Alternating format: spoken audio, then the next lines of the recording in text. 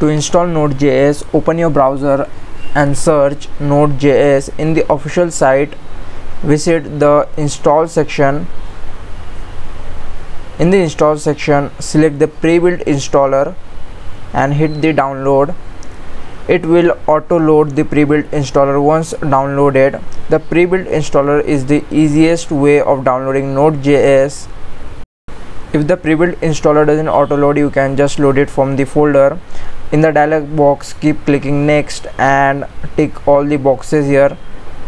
It will take some time uh, to install it in your system. Just wait a couple of minutes.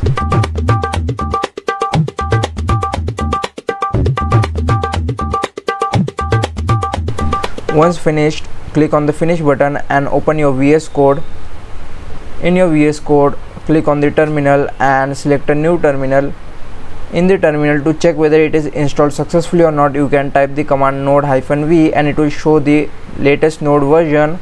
Uh, if it is installed successfully you can also do it with node package manager npm and finally to create a node.js project you can type the command npm create hyphen y.